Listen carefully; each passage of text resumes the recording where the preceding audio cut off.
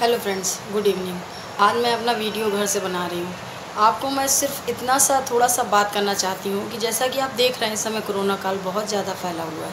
उसके बाद भी लोग मास्क नहीं लगा रहे हैं, ना तो सैनिटाइज़र का इस्तेमाल कर रहे हैं। उचित दूरी तो बहुत दूर की बात हो गई है।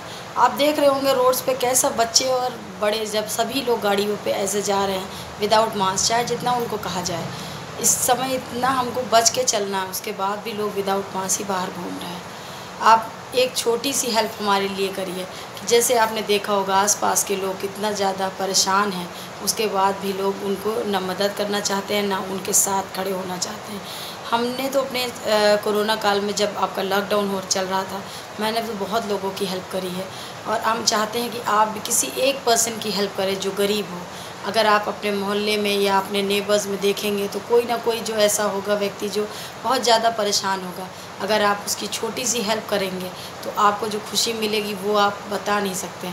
वो सिर्फ़ आपका दिल ही जानता है कि आप जब किसी की मदद करते हो तो कितना अच्छा लगता है। हम लोग तो बर्गर वर्गर सभी बाज़ार से चीज़ें ला के खा रहे हैं। उनको तो अभी खाना खाने को भी नहीं मिल रहा है। तो एक टाइम का खाना जैसे कि आप अगर किसी की हेल्प कर सकते किसी रिक्शे वाले की भैया की या किसी भी ऐसे पर्सन की जो निडी है तो आपको जो खुशी मिलेगी वो हम बयान नहीं कर सकते। तो प्लीज़ मेरे की तरफ़ से आप किसी की हेल्प करें और खुश रहें। Be safe be happy okay thank you